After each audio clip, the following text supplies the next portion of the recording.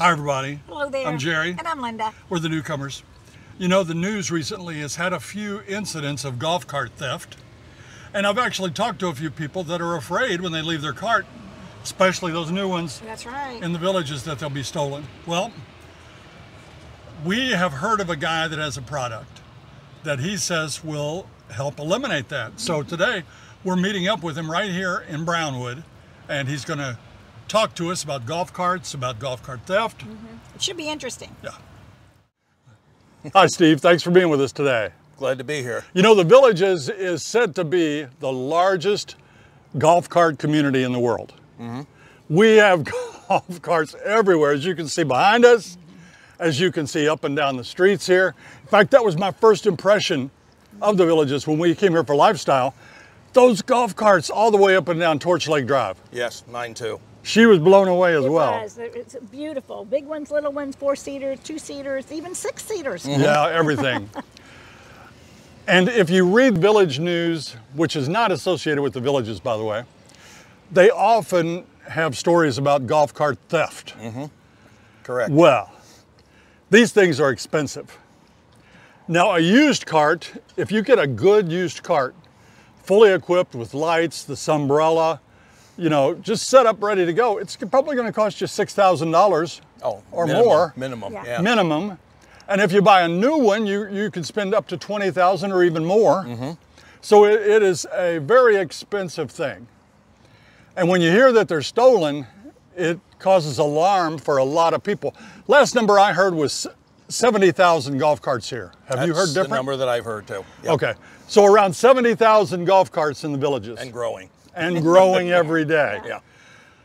Theft, although I don't think it's as widespread as you- you might imagine, it does happen from time to time. So people, number one, you have to be vigilant about where you park. You want to take your keys with you, which we have forgotten them before, and we've been lucky. But is there anything else we can do to keep our golf carts from being stolen? Um, there's a number of steps you can take. I mean, they have some devices like a boot that you can put on it. Uh, they have a, a arm that goes from the steering wheel down to the brake pedal. Uh, all these things require quite a bit of energy and, and time to put them on when you're getting ready to leave your golf cart. Here I see somebody up here pushing their golf cart in. Do you need help? Let's go down and help them real quick. No, let it go. Okay, we'll okay. help you push. Yeah, absolutely. Sure. It looks like Jerry from Jerry and Linda. You It gonna uh, is. put us on your video there? You're already on it. hey, where's Linda? Don't run over my camera. The thing died going over the ground with the Oh, God. You're steering. Just sit in there if you want. Yeah, we got it.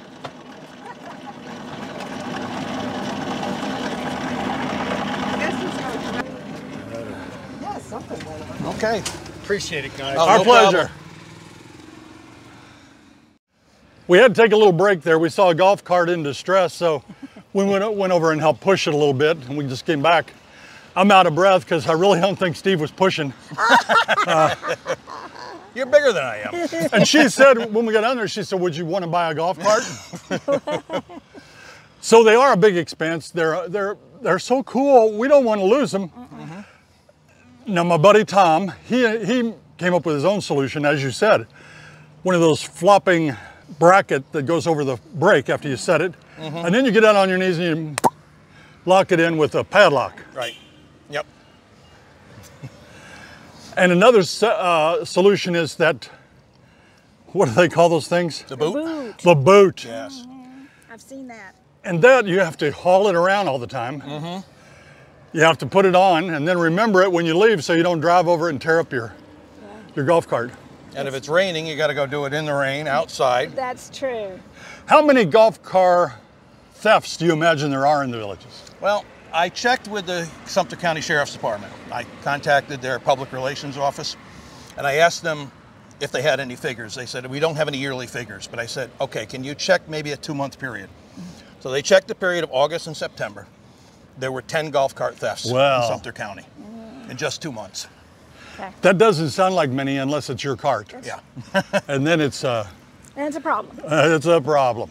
Nationwide, there are about 30,000 golf carts stolen Wow. every year. Now, what would you give me a typical scenario of how they steal golf carts?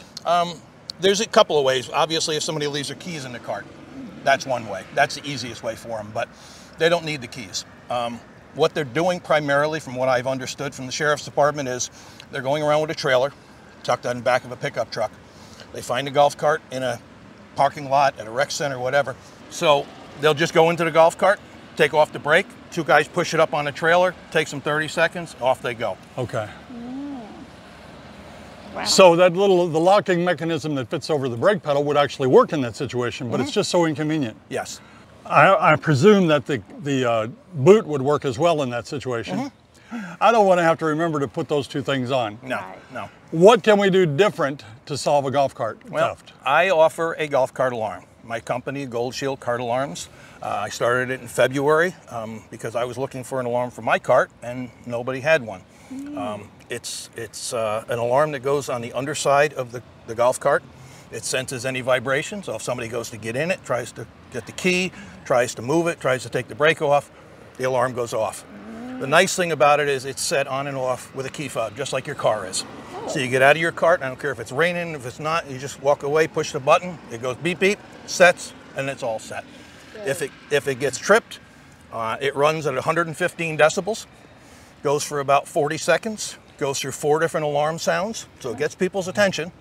Then it shuts off, so it doesn't keep going forever. Shuts off, resets itself, and stays active, so it still protects your golf cart. Well, I, now when, when we got Linda's cart, it's a 2016. Mm-hmm. I think they got smarter later on, but at that particular year and model, there were only a certain number of keys for those carts. Mm-hmm. So somebody that had, say, all six of them could, you know, if you're willing to try six keys, you could probably start her cart. Sure, sure. Now they've gotten a little smarter about that, haven't they? From what I understand, they're doing about 12 different per 12 year. different keys now. Yep, okay. 12 different key sets per year Okay. for each company. So if you don't mind, let's get a demonstration of your product. Mm-hmm. Now, we don't have that product, but we were shown it by Mike.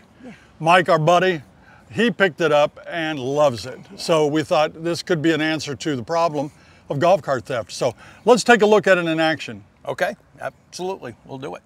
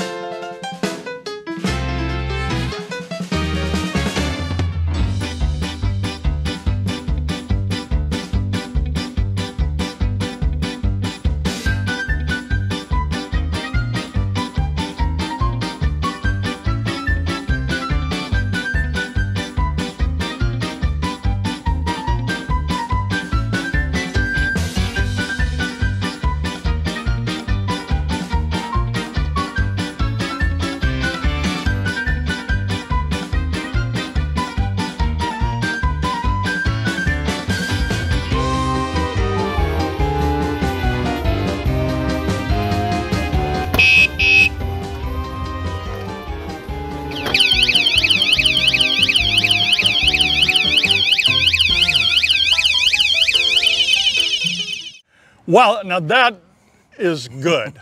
that will get anybody's attention. Mm-hmm. It's loud. It's very loud and it's kind of easy because you, you've got to carry a keychain anyway. Mm-hmm. So that's your keychain. Your little fob is your alarm, like the car. Yep.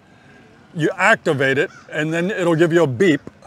Mm-hmm. Tells and then after active. that, if anybody rocks that cart too bad, turns the steering wheel, steps on the brake, the gas, boom, the alarm goes off. we've got an alert. Yep. How far away can that be heard? Um, well, you heard how loud it is. You can you can hear it for probably half a mile. Oh my God. Easily. Oh, okay. What if somebody you left your um, blinker on and someone can't went to turn off your blinker? Will It's not that off? sensitive. No, it's not gonna do that. Okay, good. Because No. we've had to do that. We've seen people's cars with Yeah. their with Or their with light lights switch on. and they can turn the lights Great off there. That's not going to Great set the question. alarm Didn't off. want- I'd be scared then. Okay, good. And I, I know that uh, they sell alarms for your golf bags or, or things you have on the back. This wouldn't help in that uh, case if they were slow and gentle taking that. Probably not slow and gentle. Um, but I also offer a golf bag alarm. Oh, you do? I do. Oh wow. The golf bag alarm mounts on the underside of your weather canopy. So you put your canopy down. If you have two bags on there, it covers both of them. Works the exact same way. Well- you set it off with a button. Same thing. It's one button for both alarms if you have them both. Yeah. Anybody goes to move the canopy, the alarm goes off. Fantastic. Did you invent that? Um, kind of, yeah. I kind of did. Um, I, cool. the guy that I get my alarms from, we started working on after we had the golf cart alarm. Um, I said we got a lot of thefts of golf uh, clubs in the villages. So we went back and forth. We talked about putting something in the bag, on and on like that. And I said the problem with that is a lot of times they're just taking one or two clubs. Yeah. They may not set the alarm off. You do it on the weather canopy, they move it. They can't get the bag, can't get the clubs without Right. doing it. Therefore, Because it's hard them. with that weather canopy down. It's hard if you're playing golf. You put it on. You got to raise it to get your club out. Sure, sure. Boom. You But got you 'em. don't have to leave it up. You don't have to leave it down when you're playing golf. It would only Got be it. when you park your vehicle. Exactly. Yeah. Exactly. That's- Well, that's fantastic. Well, listen, thank you for showing us that product. It's a great thing, I believe, and I'm sure we'll be seeing more and more of them around the villages. I hope so. Thanks so much. Thank you, Jerry. Thank you, you. Linda. Appreciate it. A big thank you to Steve Stetzel. You know, that alarm looks like to me it will work. Mm-hmm. I think so. It made a lot of noise and different kind of sounds too. Well, I asked him off camera if someone tries to take the alarm off, will that set it off? And he said, yes, it would. So it's a pretty good invention, and uh, hopefully, hopefully he'll do well with it. Um, I think the best way to eliminate golf cart theft, though, is to buy an old cart like we do. you know, if you have the oldest cart on the on the block, you're not going to get stolen. It's going to be a clunker, right? Yeah. If you liked our video today, please press that like and subscribe button and share it with all your friends. Until next time. See you when you get here.